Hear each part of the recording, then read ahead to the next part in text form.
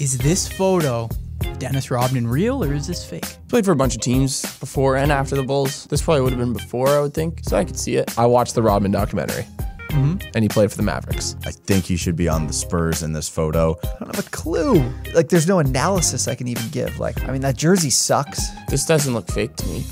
So I'm going to say this is real. But didn't he wear 69 in Dallas? I swear he wrote number 69. I'm gonna go. This is a fake photo. This is fake. He didn't wear 70. He wore 69 in Dallas. I'm almost positive. He was on Dallas for sure, but I don't think he wore 70. So I'm going to stick with fake here. That seven's not like folded in with his jersey either. I don't even think the zero really. The zero isn't as bad. The seven. I'm gonna say this is fake. Fake photo, final answer? Yep. This is real. Fuck. This is so bad.